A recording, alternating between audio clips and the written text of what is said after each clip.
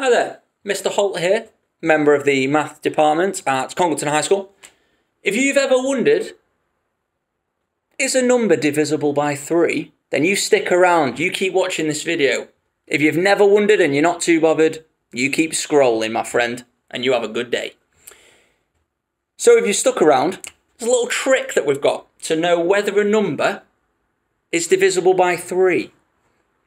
And it really only means you need to know the numbers 6, uh, 3, 6 and 9.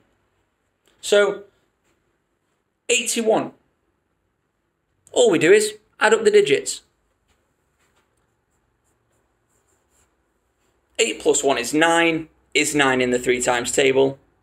Yes, it is. So 81 must be in the 3 times table.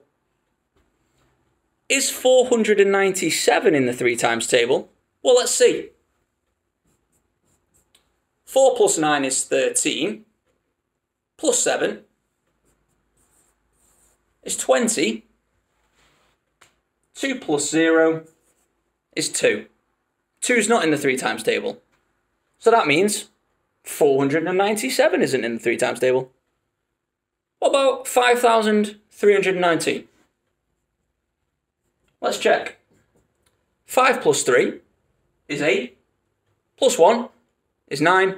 Plus 9 is 18. Let's add them up again. 1 plus 8, 9. 9's in the 3 times table.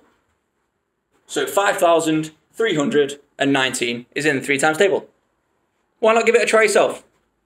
Write down any number you like, add them up until you get a single digit at the end. If your single digit is 3, 6 or 9, it's in the 3, three times table.